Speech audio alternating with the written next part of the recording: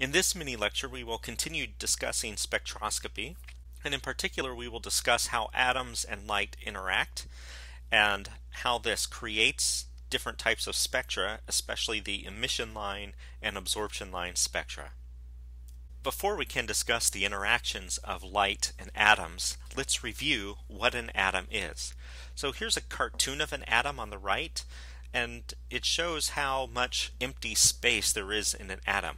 If the nucleus of an atom, that's the center of the atom, were the size of a grape seed, and I don't know why they chose grape seed. I've rarely seen grape seeds. The grapes that I eat these days are seedless, but a grape seed is a little smaller than an apple seed. If the nucleus of the atom were the size of an apple seed, the electron cloud of the atom, the outer part of the atom, would be three or four football fields across. And so if you imagine an apple seed in the middle of a football field and then string four football fields together, how much empty space there would be there. Atoms are mostly empty space. In the nucleus of the atom, there are two types of particles. Protons. Protons have a positive electric charge. Neutrons have no electric charge. And the protons and neutrons both reside in the nucleus of the atom. Electrons have a negative electric charge and electrons reside outside the nucleus in a cloud around the atom. Now, uh, you may have seen pictures that seem to show electrons orbiting the nucleus. They don't technically do that, but you can think of it that way. Uh, the true description of what an electron does around an atom requires quantum mechanics, and it's frankly very weird. Uh, a couple of facts to keep in mind protons and neutrons each are 1800 times more massive than the electron. So you can say, for all intents and purposes, all the mass of an atom is in the nucleus, in that apple seed in the middle of the football field. And the entire nucleus of the atom is extraordinarily small compared with the electron cloud, and it's very similar to the size of the sun compared with that of the whole solar system. We also need to go a little further in our discussion about light. Uh, last week we talked about light having properties of a wave. Light also has properties of a particle. A particle is just a small solid object. You can think of it like a, uh, a bowling ball or a billiard ball. How can light be both something that's a long train of waves and this little individual particle? The details require an understanding of quantum mechanics, which is way beyond what we're going to do in this course. But you can think of a photon as like a small packet of a wave. And a continuous light beam is a bunch of these packets, a bunch of individual photons coming in together. So a photon is the smallest possible unit of light. You can't subdivide a photon. This little packet of waves is the smallest quantum of light we can have. Because this photon can be thought of like a wave packet, we can still talk about the photon in terms of its wavelength, its frequency, its energy, even its color, just because the photon nature of light and the wave nature of light are interchangeable. For this discussion on how light interacts with atoms, it's often helpful to think of light as a photon. Now the electron in an atom can only reside at certain orbits which are often called energy levels. So imagine that you want to get to the roof of a house. To get to the roof of the house, you need to climb a ladder, and the ladder has unique steps, and you can only climb on those unique steps. If you try and step in between two rungs of a ladder, you are very likely to fall down. Likewise, an electron has very unique energy levels it can be at, and the electron can never be between energy levels. It has to step from one to the other, or it's often called a quantum leap from one energy level to another energy level. And it cannot be located in between. So the lowest rung, the lowest energy level in an atom is called the ground state. And above that, these are often called excited states. So the second energy level would be called the first excited state. The third energy level would be called the second excited state. Aren't confused yet? I certainly am. Uh, I will try to refer to the lowest level as the ground state and the second level as the second energy level, third level as the third energy level, and so on. Electrons are, at their heart, very lazy particles. They love to sit at the ground state. They do not like to go to the higher energy levels. So if you want to get an electron to a different energy level, you have to give it that energy. And the way we give an electron the energy so it can go to a higher level is with photons. So a photon, that wave packet carries a certain amount of energy, and if that amount of energy exactly equals the amount of energy an electron needs to go to another energy level, there's a good chance it will absorb that photon and jump up. Now, because all that energy has gone to the electron, the photon is gone. It no longer exists. Energy of the photon must be exactly equal to the change in electron energy or the electron doesn't even see it. So the example on the left is the cartoon atom we saw in the previous case where the blue photon has just the right energy to cause the electron to jump to the second level. But on the right we have a red photon coming through. Red light is less energetic than blue light so the red photon does not have enough energy to get the electron anywhere. It can't go to any of the other energy levels, and so it will just sit there and allow the red photon to pass right on by. Now, if the electron is not in the ground state, if it's already in an excited state for whatever reason, and a photon comes by, uh, the allowed transitions may change. So here you see in this cartoon, on the left, that same blue photon that was good enough to get the electron from the ground state to the second level, now if we gave that energy to the electron, it would end up in between the third and the fourth levels. In between levels is not allowed, so the electron will allow that photon to pass right on by. In this case, the energy of the red photon is exactly right to cause the electron to jump from the second level to the third level, so the electron will absorb that photon. The photon will cease to exist. The electron now has more energy and it goes up to the third energy level. Now the further apart two energy levels are, the more energy you need to cause the electron to do the jump. So the top left cartoon is the same cartoon we've been starting with. Electron in the ground state, a blue photon comes by and that's just enough energy to get it to the second energy level and so it will jump to the second level. On the top right we have in this case an orange photon, a red photon on the previous slide which had sufficient energy to cause the electron to jump from the second to the third level in this cartoon, you see that the second and third levels are closer together than the ground state and the second level, the first and second levels. And so you don't need as energetic of a photon. You can use an orange or a red photon to cause the electron to jump from the second to the third level. In the bottom left cartoon, this is the same atom that needed a blue photon to go from the ground state to the first excited level. But suppose that a photon comes in that has enough energy to lift the electron from the ground state to the third energy level.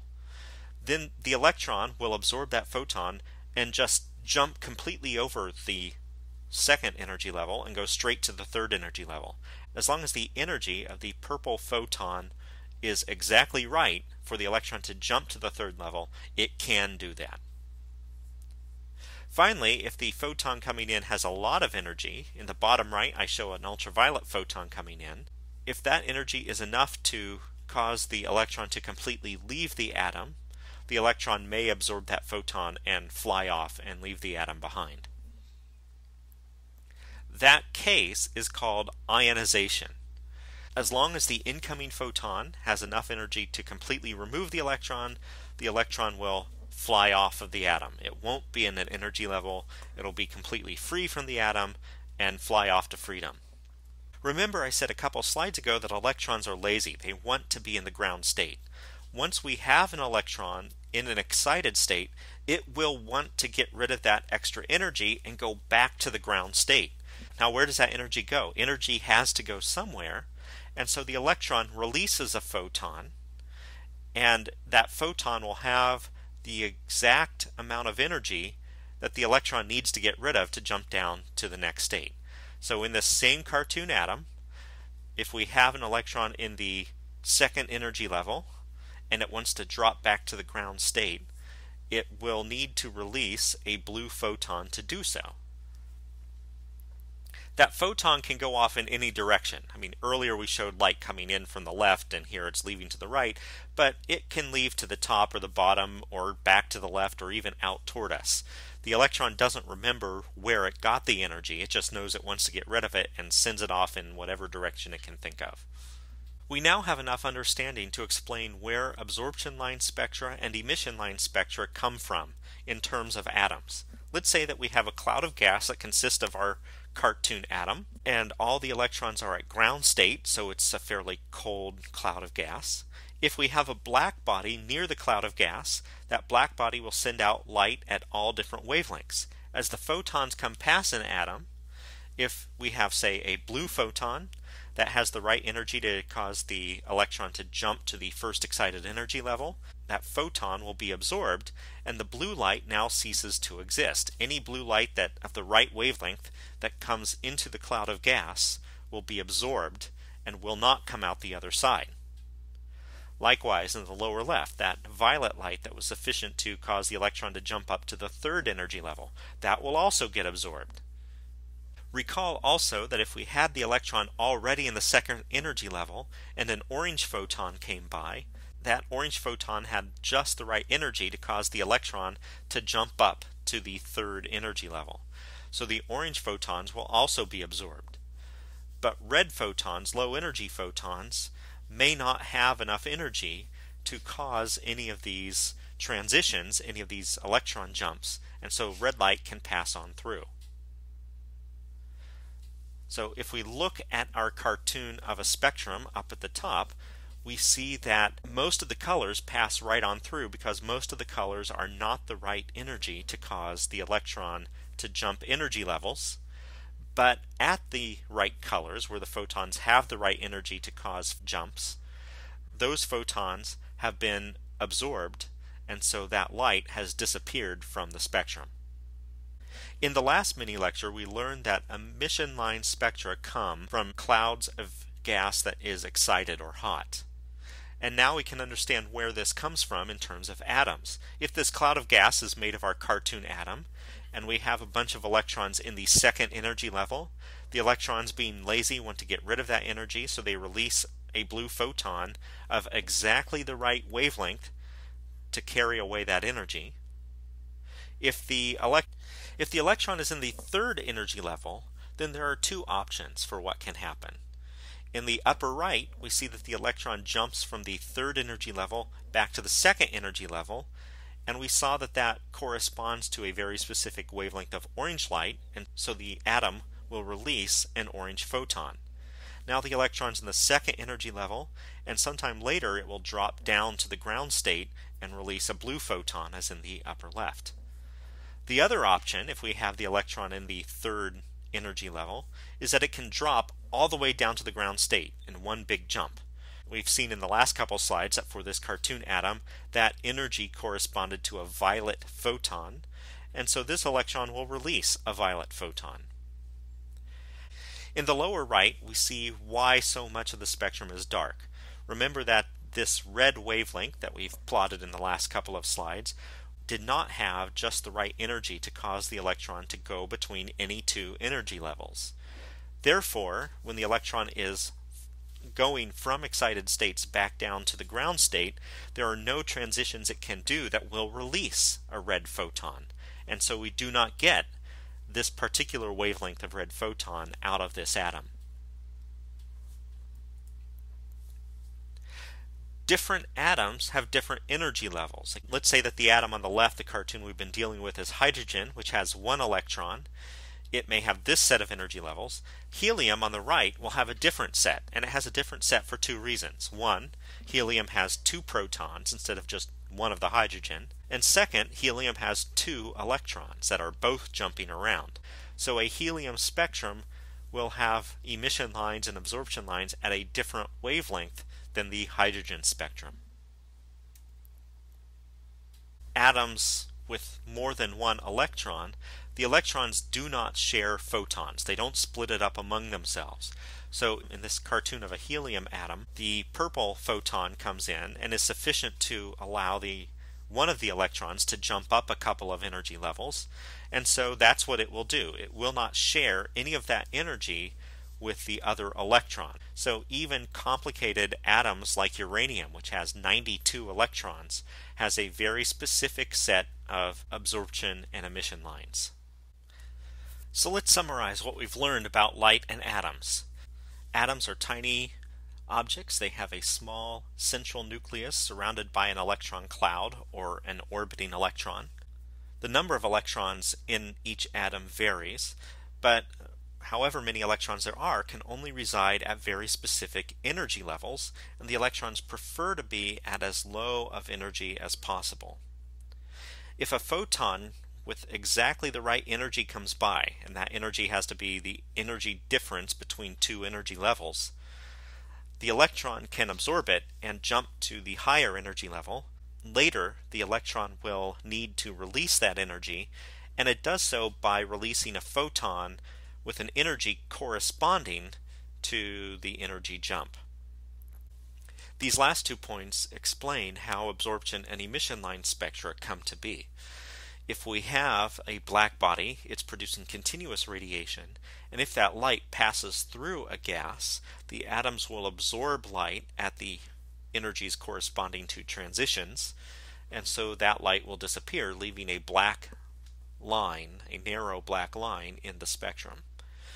And if we are only looking at gas that has been energized and the electrons are up in the upper energy levels, they will drop back down to lower energy levels and release energy as photons at only specific wavelengths, giving us the bright line spectrum or emission line spectrum. Finally, each atom has its own set of energy levels, and so therefore each atom will have its own unique fingerprint, its own unique spectrum, and that's what we can use to determine what objects are made out of. This completes the mini lectures for Chapter 4. Please complete the mini lecture response and continue on with the rest of work for the week.